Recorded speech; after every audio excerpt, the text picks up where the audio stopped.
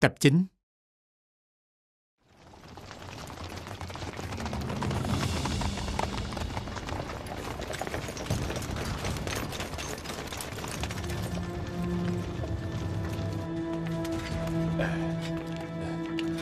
Nguyên soái. Ờ. À, Quách Nguyên soái. Ngài xem. Ừ. Đây là Đây là Là binh khí tôi rèn từ tối qua.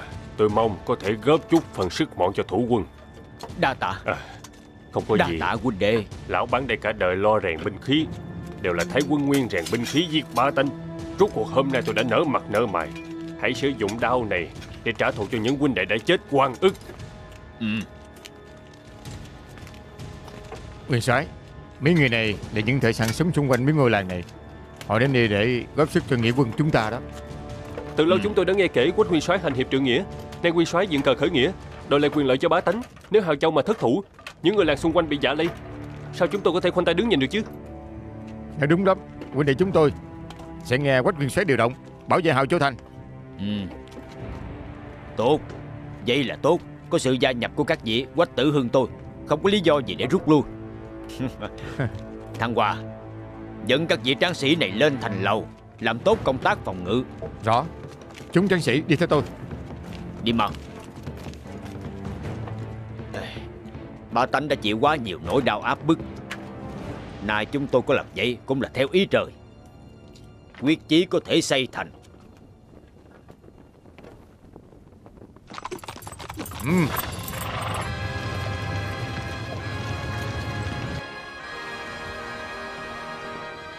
Tướng quân Chúng ta nên tiến thẳng phía trước Công phá Hào Châu Thành.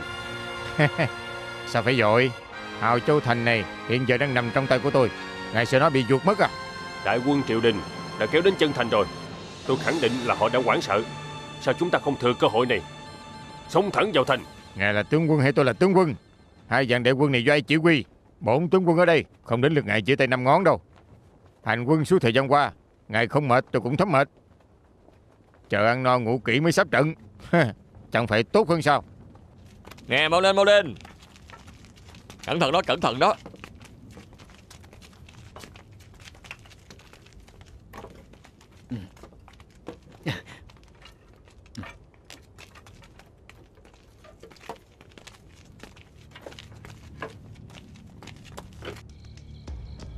Nguyên soái. Đến nay thiếu lý bất qua Vẫn chưa phát động tấn công Có lẽ chưa tìm hiểu rõ về quân ta Cho nên có sự e ngại thậm chí sợ hãi. Sợ hãi? Họ có hai vạn binh Chẳng lẽ đánh không lại vạn ngàn người của chúng ta sao? Tuy họ đông hơn Nhưng mà không thể sắp trận được Không làm gì được đâu. Không thể sắp trận. Họ là đoàn quân tinh nhuệ do triều đình huấn luyện Còn chúng ta chỉ là đoàn quân tập nhạp được gom góp lại thôi. Mấy ngày trước họ còn phải đốn củi cày ruộng đó. Triều đình hiện nay Chỉ còn lại cái vẻ ngoài quy hoàng thôi. Như ngọn đèn trước gió lùa qua sẽ tắt ngay Bọn binh sĩ đang hưởng lương hiện nay Chẳng qua vì cuộc sống Có mấy ai thật lòng bán mạng cho triều đình đâu. Thăng Hòa nói có lý. Hiện nay người của các vùng không ngừng nổi dậy.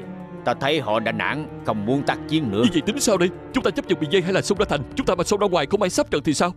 Không may trời sáng quân nguyên xông vào đây Chúng ta không kịp tháo chạy đâu. Nguyên soái Cách 20 dặm về hướng đông ở ngoài thành Có một thủ lĩnh nghĩa quân tên Tôn Đức Nhai. Hướng bắc có nghĩa quân của Du Đại Đầu và Lỗ Thiết Trượng Hướng nam có nghĩa quân của Phan Tăng Thọ. Nếu như chúng ta có thể liên minh với lực lượng của ba cánh quân đó Tôi cho rằng Lập tức có thể xoay chuyển cục diện bị động của chúng ta. Phụ soái Tôn Đức Giang không phải là kẻ tốt lành gì. Trước khi phụ soái khởi nghĩa tại Hào Châu chiếm được thành trì Tôn Đức Giang đó canh tị chúng ta thôi. Ừ. Thăng Hòa nói không sai. Ngoài ra Tôn Đức Nhai đó Giả tầm khá lớn. Ta chỉ sợ sau đó không dễ gì tiễn họ đi khỏi được. Nguyên soái Tôi thấy chuyện quan trọng hiện nay là giải nỗi nguy của quân Nguyên. Chúng ta cứ đối trận như vậy, Sau khi quân Nguyên tìm hiểu rõ thực lực của ta, Họ sẽ lập tức tấn công. Đến lúc đó, quân ta sẽ bị họ đánh phá từng chỗ một. Tôi hiểu rõ nỗi lo của Nguyên soái, Nhưng mọi chuyện đều có kinh trọng trước sau. Với những mâu thuẫn xưa này của Tôn Đức Nhai, So với sinh tử tồn vong hiện nay, Tôi cho rằng vẫn nên mượn binh giải vây mới là thượng sách. Nè, đứng lại. Đây quân tình khẩn cấp. Thời kỳ đặc thù, Cho nên phong thành rồi, Không cho đi. Ngươi không biết sao. Chúng tôi vận chuyển lương thực. Đây là lệnh bài do Quách Nguyên soái cho chúng tôi thông thành. Nay quản thúc nghiêm ngặt thiệt đó. Đúng vậy. Chúng tôi phải đề phòng gian tế. Ngài nói đúng, ngài nói đúng. Tại vì quân Nguyên đang ở ngoài thành. Nửa đêm nửa hôm chúng tôi trốn thoát từ cửa sau đó. Nè Còn ngươi làm gì vậy? À hắn hả? À, Hắn bị câm thôi Nhưng có tay nghề khéo lắm. Cậu mau tới nguyên soái phủ xác minh lại. Dạ không cần đâu. Thang Thiên Hộ Không cần xác minh nữa Chính nguyên soái đã kêu lão hán này xuất thành chuyển lương thực đó. Dạ. Ông Lý à Nguyên soái kêu tôi đến căn dặn ông Nhất định phải nắm bắt thời gian từ giờ đến sáng. Phải chuyển lương thực về thành. Tôi hiểu rồi Tôi nhất định sẽ làm tốt công việc. Được. Về ngày mau mở cổng thành ra đi Tôi ra ngoài có chút việc. Dạ.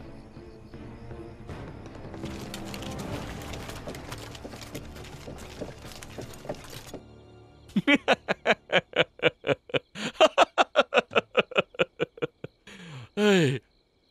tử hưng. Hắn ta sợ hãi à. Thật không ngờ. Đường đường quách nguyên soái. Vậy mà Cũng có ngài biết sợ nữa chứ. Tôn Nguyên soái Nay Hào Châu gặp nạn Chúng ta đều là nghĩa quân Đang đối mặt chung một kẻ địch như nhau. Tôi mong Tôn Nguyên soái ra tay chi viện. Do Quách tử hưng phái người đến đây chứ gì? Do Quách Nguyên soái phái tôi đến. Ngài chưa đủ tư cách. Nếu như thật sự muốn tôn đức nha tôi ra tay chi viện Như vậy mời Quách tử hưng Đích thân đến đây Để xin tôi.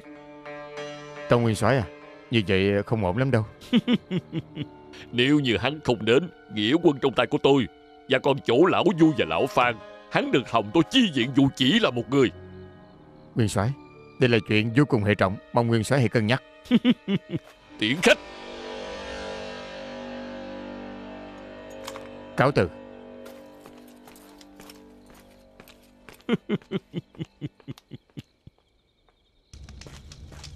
Tướng quân uống thêm một ly đi. Đây là rượu đại khúc nổi tiếng nhất tại Hào Châu đó. Được Ta uống hả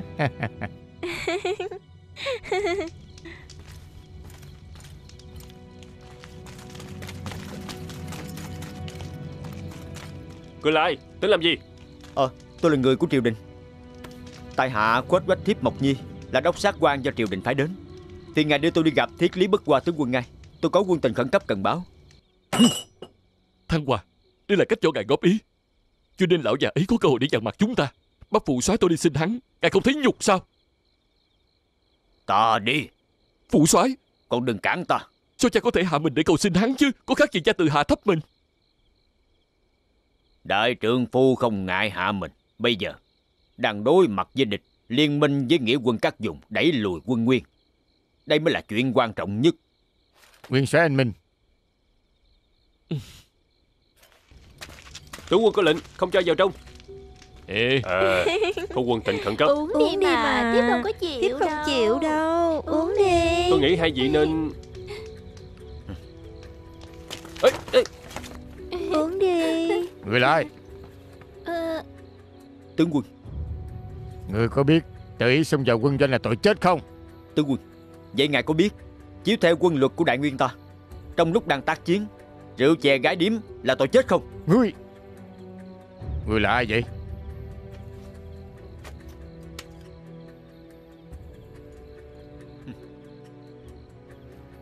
Nói như vậy Chính tên tiểu tử ngươi đã gây ra tai họa lớn tại Hào Châu Thành Mau về hẳn xuống dưới cho ta Rồi giải về triều đình xử trảm. Ngài, ngài, làm gì vậy? Tiểu tử kia Người giỏi lắm Cấu kết trong ngoài Đánh phá Hào Châu Thành. Hại chết đạt lỗ qua xích. Bây giờ ngươi đến đây để kêu ta dàn xếp giùm ngươi à. Ngài thả tôi ra Đây chính là tai họa do đạt lỗ qua xích gây ra. Tiểu tử Nếu như ngươi chết Đây chính là phúc của ngươi. Nè ngươi đã chọc giận hoàng thượng. Chết như thế nào Không ai đoán trước được. Này trong hào châu thành chỉ có hai ba ngàn người Thiệt lý bất qua Nếu ngài còn nghĩ đến đại nguyên ta Chúng ta lập tức tấn công cửa thành. Để lấy lại hào châu thành về tay ta. Sao ta biết được ngươi có phải gian tế do địch phải đến hay không? À Ngươi muốn ta nối gót các nhân thái à? Hả? Tôi dám lấy đầu của tôi ra cam đoan. Nếu như hào châu thành mất Tôi cũng không còn mặt mũi gì gặp thừa tướng đại nhân Dạy hắn đi cho ta. Thiệt lý bất qua. Người là tên hèn nhát. Sao không chết đi? Chỉ có vài ngàn người đã làm người khiếp sợ rồi. Chúng, Chúng ta, ta uống tiếp Đi đi đi. Tướng quân Nếu chúng ta cứ án binh bất động Trở về tay không? Chúng ta khó mà ăn nói với triều đình đó. Khuếch quách thiếp Mộc Nhi Bị chúng ta giam giữ Hắn không cần thiết phải nói dối Bởi hắn chỉ có một cái đầu mà thôi. Được. Vậy tôi tin hắn lần này Cược với hắn một phen.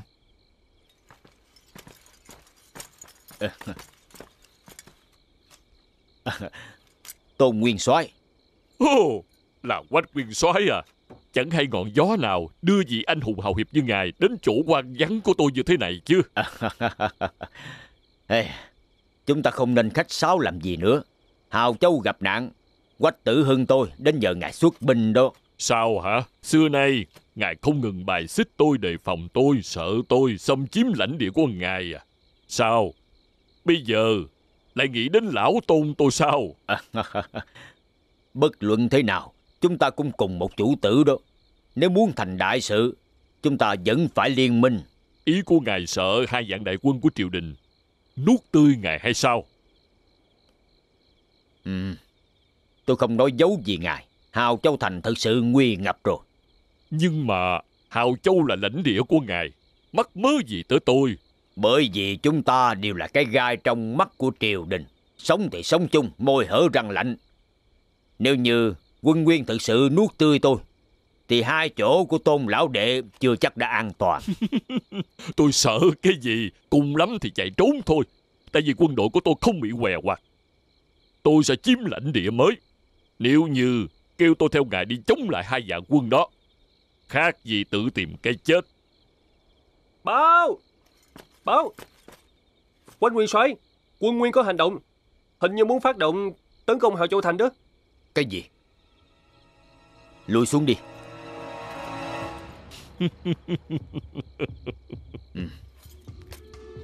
Tôn lão đệ Tôn dông của Hào Châu Trông cậy vào ngài đó. Thôi được Nếu như do đích thân quách quyền soái đến xin tôi Như vậy tất nhiên tôi phải nể mặt. Nhưng mà tôi có một yêu cầu Sau khi giữ vững được Hào Châu Chúng ta cần phải cùng trưởng quản Hào Châu Chia sẻ quyền lợi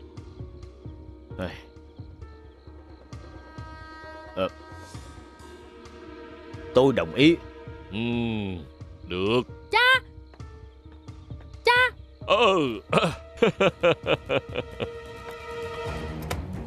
Tôn lão đệ Chúng ta cứ quyết định vậy đi.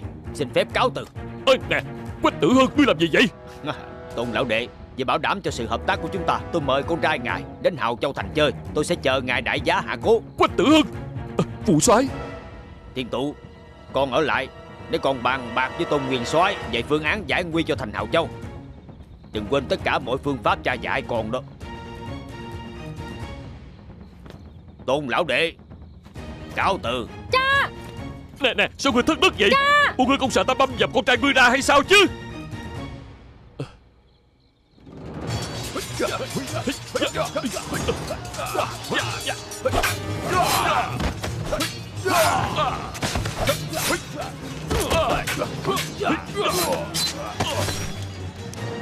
Quách tự hưng Hôm nay là ngày tàn của ngươi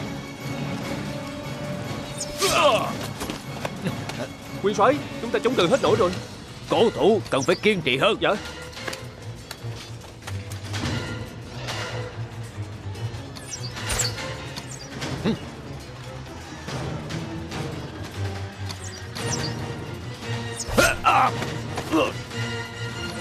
Nguyên soái, Tôi tôi không sao. Mau Mau kêu họ ném đá xuống. Mau. Ném đá xuống, ném đá xuống mau.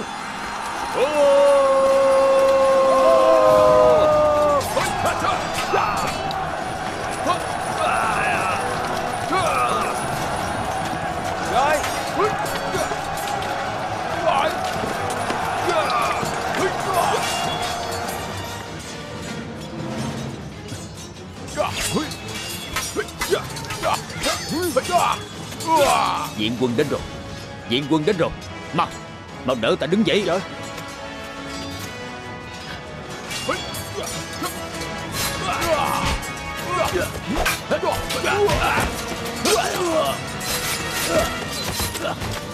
Diện quân tới rồi.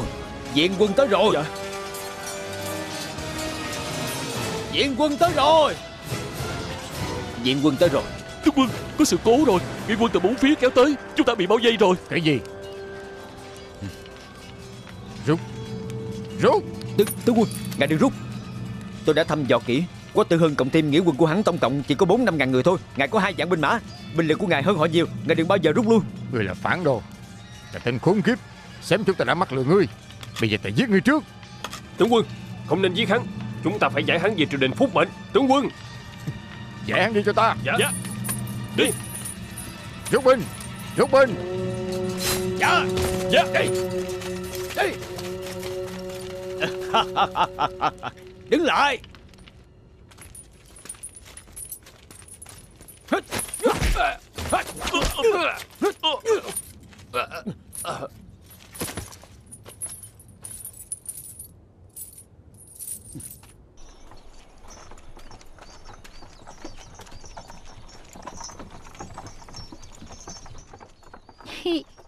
Vui mừng lên, vui mừng lên. Huấn luyện ca, vui mừng lên. Đừng gọi ta bằng ca ca nữa có được không? Như vậy không được. Huynh mãi mãi là ca ca của muội. Một tiếng ca ca Lòng tan nát Ủa không thể nể mặt ta hơn sao? Được. Muội Huynh nể mặt huynh chứ. Hay là gì Huynh đừng tiễn muội nữa. Huynh mau trở về nhà thành thân đi. Có người đang chờ huynh Huynh. Ý muội nói Tìm một cô gái thật lòng thương yêu huynh. Thành thân với người ta Xem như kiếp này muội Đã phụ lòng huynh rồi. Thôi được không nói nữa. Chuyện đó ta phải cam chịu thôi.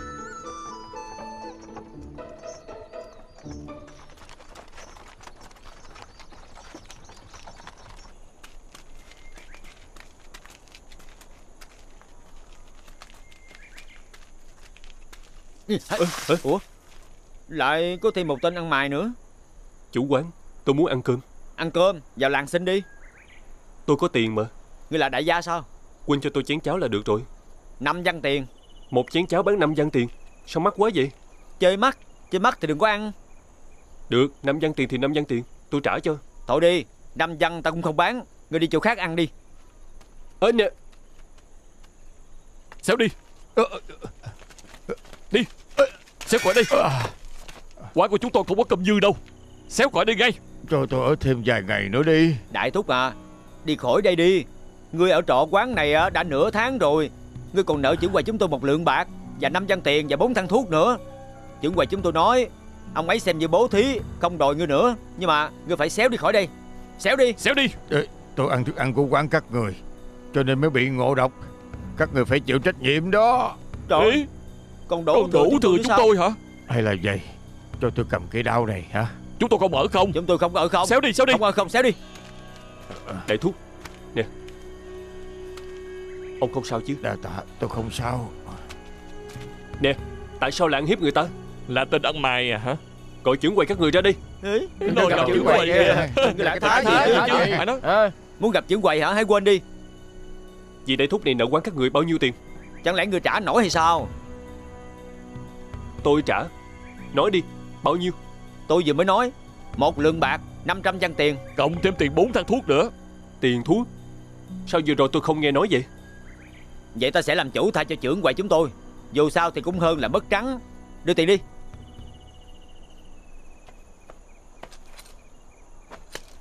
Ừ? Ở đây có 10 lượng bạc. Đủ không? Người, người, người lấy trộm sao? Ăn cướp đó. Ăn cướp? Vậy ta bắt người giao cho quan phủ. Đúng Thứ người như ta nên giao cho quan phủ. Ta không chỉ cướp tiền Ta còn giết người nữa. Hả? Hắn nói hắn giết người kìa. Giết người. Gi- gi- gi- Giết mấy người? Bốn người. Giả lại giống y như các người ờ, ờ, ờ, ờ, Đại gia Tôi nghĩ huynh không phải đến từ Thiếu Lâm Tự Thì đến từ Ờ, núi Võ Đàn. Tinh mắt lắm đó tiểu nhị. Nếu vậy Vào trong tính tiền Sau đó hay đi? Khoan đã Ta phải nói rõ mọi chuyện trước Ta và dì đại thúc này Phải ở lại đây thêm mấy ngày. Có được hay không? Ờ, Đại gia Huynh có 10 lượng bạc này Huynh thích ở bao lâu thì ở bấy lâu. Mời đại gia vào trong. À, Dạ mời mời mời đã Lượm cây đao lại cho dì đại thúc này đi. Sau đó dìu ông ấy vào phòng khách cho ta. Sau đó huynh vào trong làng. Mời thầy Lan về để khám bệnh cho ông ấy. Ờ, Mau lên mau lên lượm À, đau Ông được, ấy vào. Ờ, mời mời vào, Ờ, mời mời vào, vào mời vào mời vào. Trong. Ờ, mời vào Mời vào. Đây đây đây đây đây. Rồi Mời rồi vào. rồi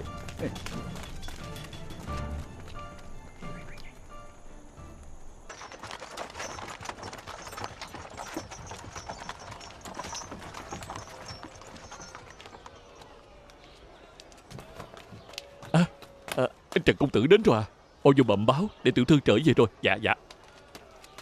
Tú Anh Đến nhà rồi.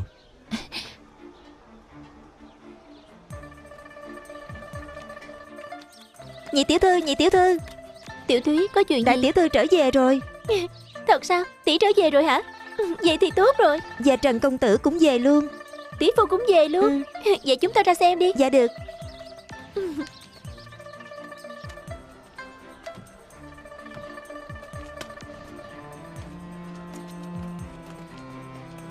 Tỷ tỷ phu Huynh cũng đi chung sao? Tô Liên Cha. Tô Anh Hữu Lượng Các con đi về chung mà. Tốt tốt. Lúc đi chỉ có một người Bây giờ có đôi có cặp. Tú Anh à May mà con hiểu thấu được Nếu không đó nha Cha đã từng tuổi này rồi Không thể chịu đựng sự dày xéo đâu. Tỷ Gia đình cứ tưởng là tỷ trốn theo tiểu hòa thượng đó rồi. Nhưng không ngờ tỷ lại đi tìm hướng lượng ca. Hai người bái đường chứ? Hai người thành hôn chứ? Tô Liên Tỷ quá hạnh phúc rồi. Nè Tại sao tỷ nói một đường lại làm một nẻo? Con không được nói bậy như vậy. Cha Con cũng đã mệt mỏi rồi Muốn vào nhà nghỉ ngơi. Ta đưa muội vào trong.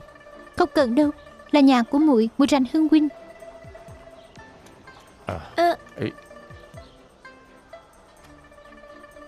Hữu lượng ca Huynh đã làm gì tỷ tỷ? Sao tỷ lại không vui? Có phải là ăn hiếp tỷ ấy không? Tô Liên à. Bản tính của Tú Anh Hữu Lượng dám ăn hiếp nó sao? Nó không ăn hiếp Hữu Lượng xem như là may rồi. Cha nói cũng đúng. Thật ra tỷ tỷ có gì đâu. Tại có tỷ phu Tỷ ấy gặp huynh mới như vậy. Không may sau này làm cho trần phủ của huynh phát quả Huynh tính làm sao đây? Ê, Tô Liên à Sao con lại nói như vậy? Trời ơi như vậy cũng tốt. Đến lúc đó huynh có thể đến Mã Phủ. Nếu như huynh đến Mã Phủ muội có thể gặp huynh mỗi ngày rồi. Con ăn nói bậy bạ gì vậy? Hử? Con đâu có. À, à Hữu Lượng à Lần này tới chơi đừng đi về nữa Con xem trong phủ này á Ta đã bố trí cho các con hết rồi. Ta đang chờ tổ chức hôn lễ cho các con á. Lần này con đến đây xem như là đến rước dâu đó. Cha. Như vậy con phải làm sao đây? Con Ê, Đa tạ bá phụ. Tỷ phu huynh có phải mọt sách không vậy? Uổng thay cho huynh ăn học nhiều. Muội thấy huynh càng lúc càng khờ rồi. Tô Liên Sao con ăn nói như vậy? Con nói vậy thì sao chứ? Con có nói sai đâu. Cha đã chuẩn bị hôn lễ cho họ rồi. Huynh ấy còn gọi cha là bá phụ Kể cả cha cũng không dám gọi Con rể người ta đối với lão trượng nhân đều phải nịnh nọt. Còn huynh ấy thì khác. Sau này chúng tôi không giúp huynh đâu Huynh tự lo đi. Ờ à, không không không. Mùi nói có lý lắm. Bá phụ À không không. Cha Từ nay về sau Hữu lượng sẽ gọi cha bằng cha. Được được được. Ê Dù sớm hay muộn con cũng phải gọi vậy thôi. Con gọi sớm một ngày Thì cha vui mừng thêm một ngày hả?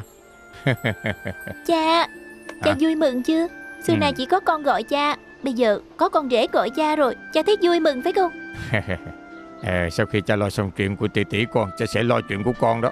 Chuyện của con không cần cha bận tâm đâu. Sao hả? Con gái hiếu thảo như vậy Quyết lo cho lão già này đến cuối đời à? Cha Chuyện của con cha đừng lo nữa. Khi nào con muốn lấy chồng Thì tự con sẽ quyết định. Cái con A đầu này. Má phủ của họ còn dị nhị tiểu thơ Để thấy cô ấy dịu dàng hơn đại tiểu thơ nhiều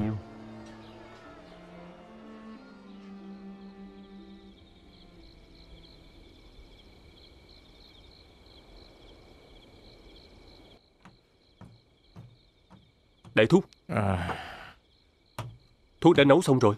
Uống đi cho khỏi bệnh. Thành thật đa tạ cậu nha. Không cần đâu. Chúng ta lưu lạc tha phương không dễ dàng chút nào.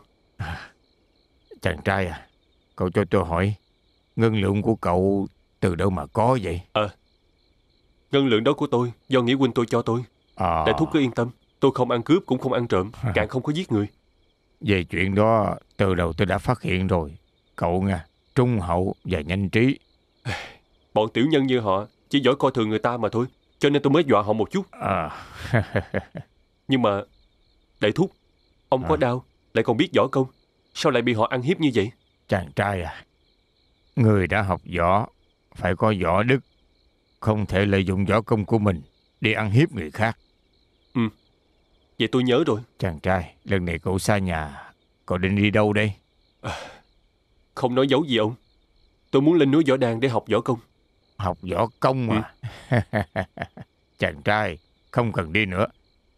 Cậu theo thúc thúc học đi. Chờ sau khi tôi hồi phục Cậu theo tôi trở về sơn trang của tôi. Trên giang hồ Mọi người đều gọi tôi bằng đại đao lưu đó. Đại thúc Ông chịu dạy võ công cho tôi thật sao? Đúng vậy đúng vậy. Sư phụ tại thượng Hãy nhận ba lạy của đệ tử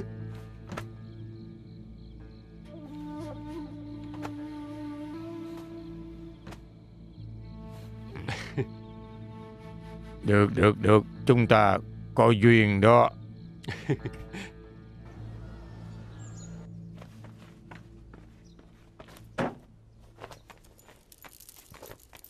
Tỷ, có uống lộn thuốc không vậy? Mới đến thì lại đòi về. Mũi mặt ta. Trời ơi. Có chuyện gì? Ta cho muội hay, Ta không lấy tên Trần Hữu Lượng đó đâu. Thà chết không lấy muội muốn lấy quên ấy cũng không được đâu. Vậy quá tốt rồi Muội mau lấy hắn đi. Thôi được thôi được muội sẽ lấy quên ấy Và còn múa cho quên ấy coi nữa. Ừ. À, à, Đứng lại. Rốt cuộc con định gây rối tới khi nào? Hữu lượng xóa bỏ chuyện cũ Lặn lội ngàn dặm đưa con về đây. Con còn làm chuyện khiến cha mất mặt à? Cha Cha cứ nói thẳng đi. Nếu cha chê bai con Con sẽ đi khỏi đây ngay. Săn bẫy Sáng mai trời sáng con phải xuất giá. Hả? Hả Cha nói là còn hơn 10 ngày mà. Cha và hữu lượng đã bàn xong rồi. Đi sớm cho yên lòng. Còn hơn để con gây thêm rắc rối Và cũng giúp cha được yên lòng. Con không lấy hắn đâu. Con Đồ hỗn láo. Cha! Con còn ngơ ngác làm gì? Mau lấy lễ phục của tỷ con mà đến đây đi. Ờ.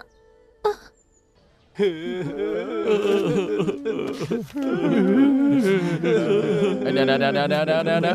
Ờ, Khoan khoan khoan khoan khoan Người ta mời chúng ta tới khóc tang mà Cô nghe thấy Ta phải có đạo đức chứ Phải có đạo đức đó Khóc cho thiệt tình vô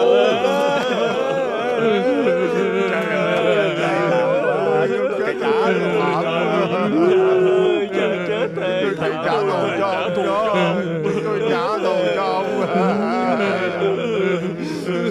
Cha chết Ê, nè nè khoan khoan khoan khoan Trời ơi người ta do bệnh mà chết đó. Sao lại trả thù cái gì? Khóc là được rồi. Mọi người khóc đi.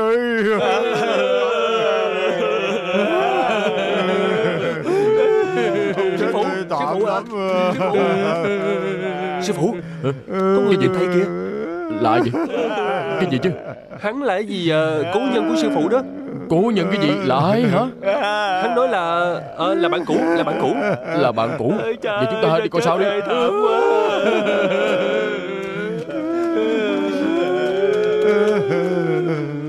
Ông chết đây tạm quá đi Sư phụ chính là hắn. Trùng bá Bạch tổ sư. Cậu nghe nè Ra ngoài kia coi chừng. Đừng có cho người lạ vào đây. Hả? Hả? Đi mau Trùng bá Trời ơi. Gặp lại ông tôi vui quá đi. Ý Chẳng lẽ sư phụ tôi có chuyện gì hay sao? Cao Bân à Không sao. Ờ, Ta có lên núi thăm sư phụ của cậu. Sư phụ cậu vẫn khỏe đó. Không sao là tốt rồi. Như vậy tôi yên tâm rồi. Ta nghe nói sư phụ cậu truyền kim thương cho cậu hả? Ờ, Ông ấy thương tôi thôi. Bình khí tốt Cần có người thích hợp để sử dụng. Nếu không để nó trong kho Cũng chỉ là đống sắt dụng mà thôi Sang bằng chuyện bất công trên thiên hạ Đòi lại công bằng cho hoa hạ chúng ta. Ừ, Tại sao? Tổ sư ông cũng biết vậy. Nếu như ta không biết Sao ta đến tìm cậu được chứ? Ủa? Trùng bác. Ờ. Giúp cho ta chuyện này. Ừ là chuyện gì vậy? Chỉ cần tôi có khả năng Nhất định sẽ giúp đó. Nếu như chuyện này làm không khéo Sẽ rơi đầu đó. Wow. Có giúp hay không? Tất nhiên không vấn đề gì. Chỉ cần theo sư phụ tôi Sang bằng chuyện bất công trên thiên hạ Đòi lại công bằng cho hoa hạ ta. Tôi nhất định nghĩa bất từ nan Ừ Hay lắm. Ta rất mến mộ hiệp nghĩa và chí khí của cậu. Xem ra sư phụ cậu Không có chọn sai đệ tử như cậu.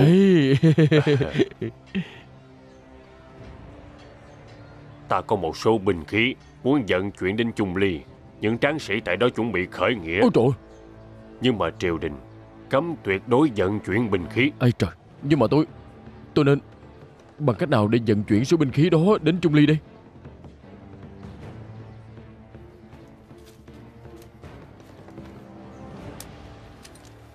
Cậu dùng quan tài để vận chuyển. Ừm. Tỷ. Ơ. Ừm, Cha. Cha đến rồi hả? Vậy con xin phép ra ngoài nha Đúng lúc mấy ngày qua con không gặp hữu lượng ca. Con đi gặp huynh ấy Xem huynh ấy sao rồi. Da, Con đừng gây thêm rắc rối cho cha nữa. Ừm. Đi nha. Ừm.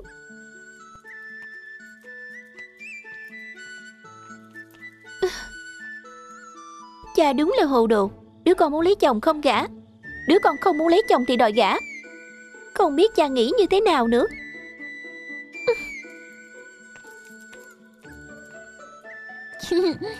Cha, cha đến rồi hả? Tú Anh à Đây là chè hột sen do chính tay cha nấu cho con Con ăn mau đi Có ngọt không cha? Cha có bỏ đường Ngọt lắm Con ăn thử xem Ừ. Ừm, ngọt lắm. Ừm, Ngọt là tốt Ngọt là tốt Sau khi con thành hôn với hữu lượng Ngọt ngào êm ái Vậy thì cha sẽ cảm thấy yên lòng rồi hả Cũng do con là người có phúc nên mới có được người cha như cha vậy.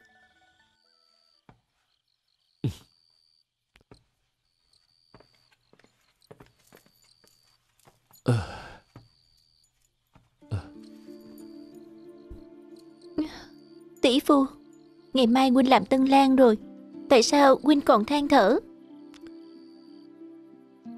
Bộ huynh nôn nóng lấy tỷ ấy lắm sao? Trước sau gì ta cũng lấy mùi ấy.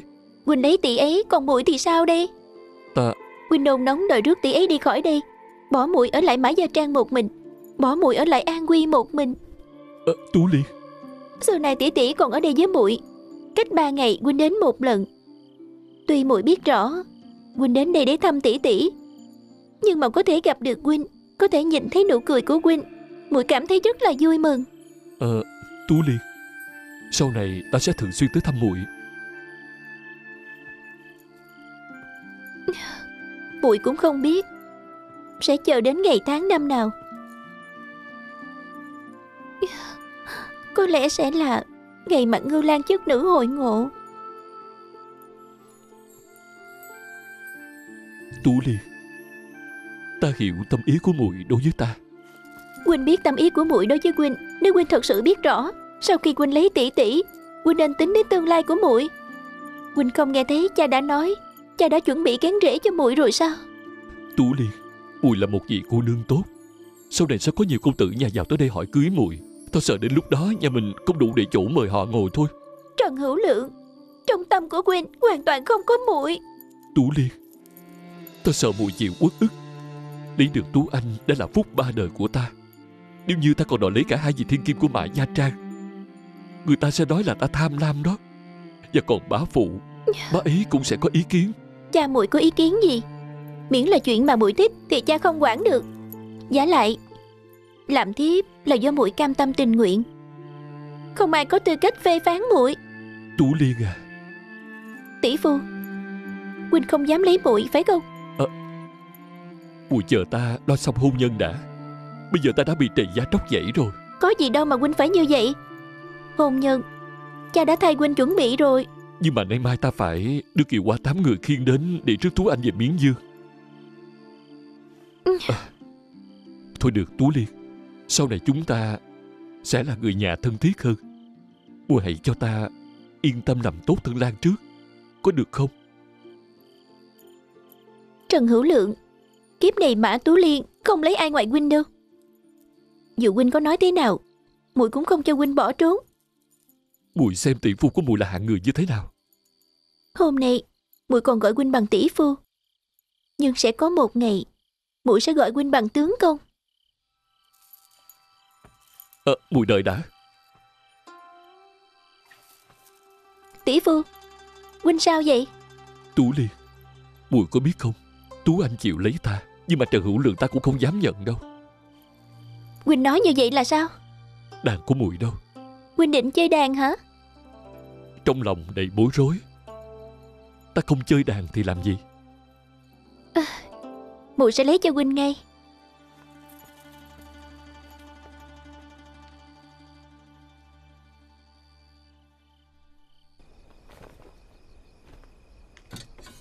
Wow. Đi, đi toàn là đồ tốt nha. Đúng rồi Đó là đồ Sư tốt phụ, không? đây là số binh khí mà vị cố nhân đối nhà thầy vận chuyển hả? Chỉ có bành tổ sư mới có được binh khí tốt như vậy. Sư phụ, đây là chuyện chết người đó. Đừng xen vào. Đồ chết nhát Sợ hả? Xón ra quần hả? Tránh một bên đi. Ờ, sư phụ à, thầy nên cân nhắc kỹ nha. Chuyện mà tôi hứa với bành tổ sư Thì nhất định là phải làm được. Trung bá ca Bây giờ bên ngoài đang hỗn loạn như vậy Quân Nguyên đi bắt những ai tạo phản. Đã giết một người rồi Chúng ta làm như vậy có khác gì đi tự tử đâu. Không may chúng tôi bị họ bắt được Bọn người như chúng ta có khác gì sẽ bị rơi đầu hết? Sư phụ, Thanh Thanh tỷ nói rất đúng. Chúng ta đi ăn xin, vẫn còn có hai bữa cơm, không may gặp phải chuyện nguy hiểm như vậy á. Đầu của chúng ta sẽ biến thành cái hồ lô, đến lúc đó chúng ta đừng hòng được sống. Câm miệng quả cậu đi Chẳng phải bây giờ chúng ta vẫn còn khỏe mạnh hả? Sao rủi chúng tôi chết vậy? Trùng bá ca Huynh nhất định phải cân nhắc. Ờ thôi được thôi được. Mọi người nghe tôi nói nè. Khó khăn lắm bành tổ sư mới quyên góp được số binh khí này đó. Nhưng mà tiệm rèn đó Vẫn bị bọn quân nguyên đó Giết không còn một người nào Trên đây đã thấm máu của biết bao nhiêu người Nếu như chúng ta không chuyển số hàng đến nơi Có khác gì những dũng sĩ đã hy sinh Họ bỏ ra sơn máu mà không thu được gì cho mình hết Tại sao lại kêu chúng ta đi vận chuyển chứ? Tên lão cố nhân đó thiệt là... Có giỏi thì tự mình đi chuyển đi. Sao phải nhờ chúng ta làm gì? Chúng ta đâu có tạo phản. Tại sao phải chết chung với hắn? Ông ấy giao số đồ quan trọng như vậy cho chúng ta Đây là tín nhiệm Có hiểu chưa Thôi được rồi đừng cãi nhau nữa Số binh khí này Ngày mai nhất định phải chuyển tới Trung Ly Những tráng sĩ ở đó chờ số hàng này để khởi nghĩa đó. Cho nên ghi nhớ Nhiệm vụ lần này của chúng ta là vô cùng quan trọng Tuyệt đối không thể sơ sẩy được. Đúng vậy Quân nguyên ăn hiếp ba tánh chúng ta. Ba tánh chúng ta phải cho họ biết tay Có đúng không? Đúng, đúng. Sư phụ, dù muốn dù không, tôi cũng nghe lời của thầy. Thầy đi, chúng tôi sẽ đi theo thầy. Đúng. Được. Cho dù lên núi đao xuống biển lửa Chúng tôi cũng sẽ đi theo huynh. Có chết cũng phải chết cho giống hậu hán. Chết không ân hận. Chết không ân hận. Đây là đệ tử tốt của tôi Cha Thật ra bây giờ Là như vậy nè. Họ Con đó Đồng ý. Còn người ta Không dám lấy. Hả? Sao nó không dám lấy? Ừm, ừm, Chuyện này à, nên trách cha mới đúng đó. Trách cha cái gì? Cha mẹ sanh con ra có đôi chân bự như vậy. Ê, Cho nên người ta nói Ai mà lấy con sẽ bị thiên hạ chê cười. Tên Trần Hữu Lượng kia. Đúng là chẳng ra gì Ê Không thể nào. Sao lại không thể nào? Nó biết chân con từ lâu. Tại sao xưa nay không chê bai? Bây giờ sắp thành hôn rồi Chê chân con bự. Ừm, Chuyện là vậy đó cha. Sau lần vừa rồi Con đến phủ của hắn tại Miết Dương Ở trong phòng khách nhà hắn Sau đó Con lại leo lên giường Nhảy mạnh một cái. Ồ Rồi sao nữa con? Giường bị sụp. Sập rồi à? Ừ. Vậy có chuyện như vậy hả? Nếu cha không tin Cha cứ đến Miết Dương xem thử đi. Cái giường vẫn còn để nguyên trong phòng. Đúng là giường cũ. Ừ, cha, lúc đó là như vậy nè. Lúc đó con đã. Giỏi. Ừ. Kim kê độc lập Tư thế tuyệt đẹp. Nhưng mà người ta không nói như vậy đâu. Ừ. Nó nói thế nào? Ừm, Con không dám lặp lại đâu. Cứ nói đi. Con nói ra cha sẽ giận đó. Ê cha hứa không giận đâu. Vậy con nói thiệt nha. Nói. Hắn nói chiêu của con không phải kim kỳ độc lập đâu Vậy, vậy là chiêu gì? Dịch cái đứng ngóng. Hả? Cái tên Trần Hữu Lượng đó đáng chết thật. Ừ. Tôi chết lão phu rồi. Ê ta phải đi tìm. Ta phải đi tìm. Ta Cái đi cản ra tìm. gì đó phải không Ờ. Không phải đâu cha Con vẫn chưa nói xong. Thật ra do hữu lượng ca Đã ưng ý muội muội tú liên.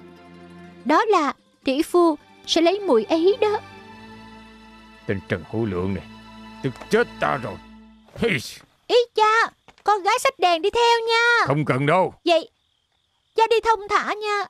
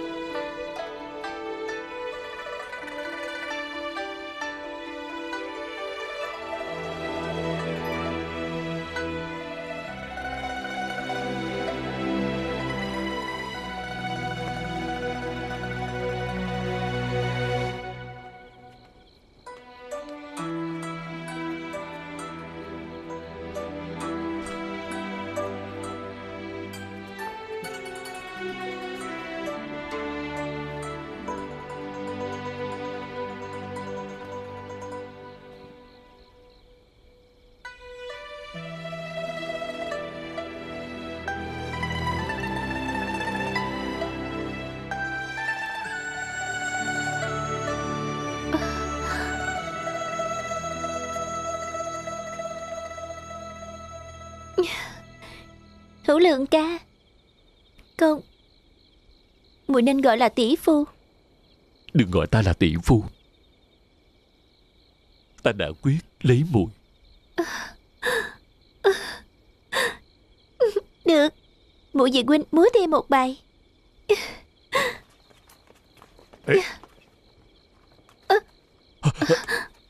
Hai đứa. Đúng là khốn kiếp Hôn nhân giữa con và Tú Anh Là hồi phụ thân con còn sống. Đã chỉ phút di hôn mà có. Bây giờ con chê chân của Tú Anh bự? Hả? Chân của nó bự. Chẳng lẽ con không biết hay sao? Cách đây mấy tháng Con còn đến gặp ta hỏi cưới. Bây giờ lại đổi ý Chê nói chân bự. Ý của con là thế nào đây? Mau nói lão phu nghe đi.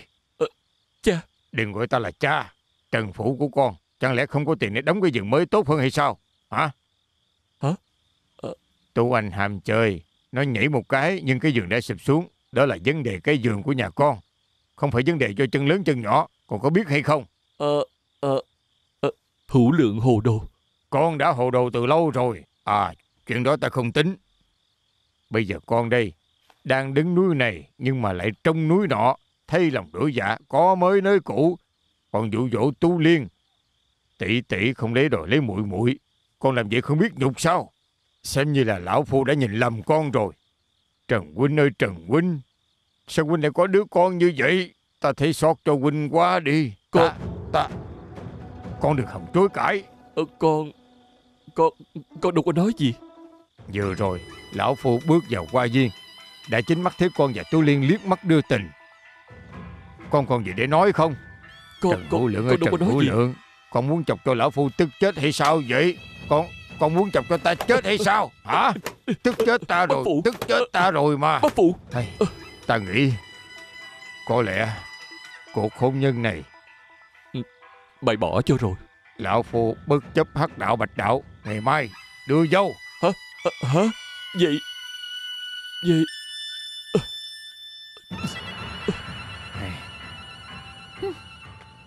À